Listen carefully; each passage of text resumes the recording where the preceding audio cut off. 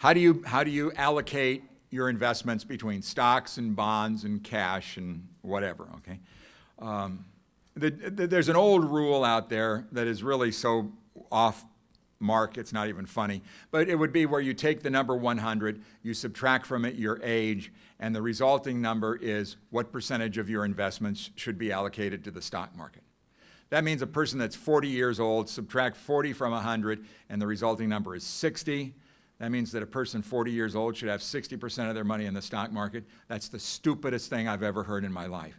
A person 40 years old should be putting the pedal to the metal because you got a lot of years before you. You're in your peak earning period. You're just really probably entering your peak earning period. You should be as aggressive as you can comfortably be at that point in time. Now, since then, they've kind of, there have been people that have revised that and they used the number 115. So you subtract 40 from 115, the resulting number is 75.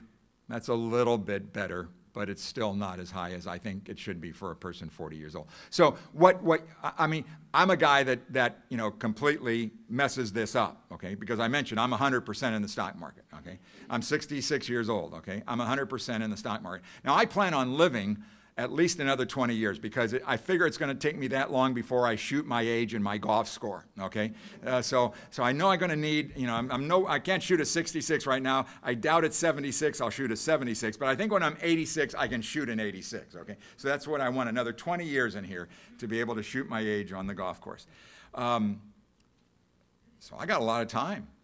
I got a lot of time. There was another thing I didn't bring up. This was in the Wall Street Journal the other day, and I apologize. Uh, I, I, it would be really great, but it was, um, and, and this, uh, again, for a person your age, this is great. This was an, in an article I just stumbled across, and I, I couldn't wait to show it to my wife because she's 100% with me on this, our, our investment portfolio being 100% invested in stocks. And it, it says, the, this article was, was uh, preaching the merits of being all in in the stock market. And it, it took a $100,000 portfolio and broke it into how did it perform in three different categories 100% in stocks, 100% in bonds, and then split 50 50 between stocks and bonds. And in that 10 year period, the, um, the uh, all stock portfolio grew to $214,000. Okay? The all bond portfolio grew to 163,000, and the split portfolio to 188,000. Okay, so stocks, the all stock portfolio dramatically outperform it. Then they went to 35 years. You aren't going to believe this. The all stock portfolio went from, in 35 years, went from $100,000 to more than $4.5 million. Okay? The all bond portfolio went from 100,000 to $1.5 million, and the split portfolio went to about $3 million. The all stock portfolio obviously paid off handsomely, but most people would say, I can't tolerate the risk of the stock market. Okay? Um, I, I think you've got to at least open your eyes to it and be aware. I brought this up to my wife, and, I, and you know, we reinvest everything in all of our accounts. We, we follow the uh, Albert Einstein thing. Albert Einstein called compounding the eighth wonder of the world, okay?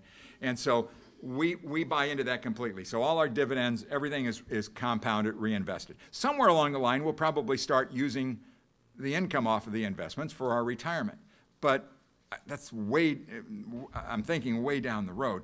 Uh, and so, but even if we did, and even if we modestly invaded the principal from time to time, it's going to grow dramatically faster than we are going to use it. Because, as I just told you, you know, take a look at what the market has done. Now, past is not prologue, but it certainly gives you a pretty good guide of what to expect, as long as you don't dwell on the market and wake up in the morning and check where the, your stocks are every day. That's the worst thing that could happen. Is you ever get in that point, get out. Okay, you shouldn't be there in the first place. Okay, you can't you can't get into that that posture. You really can't.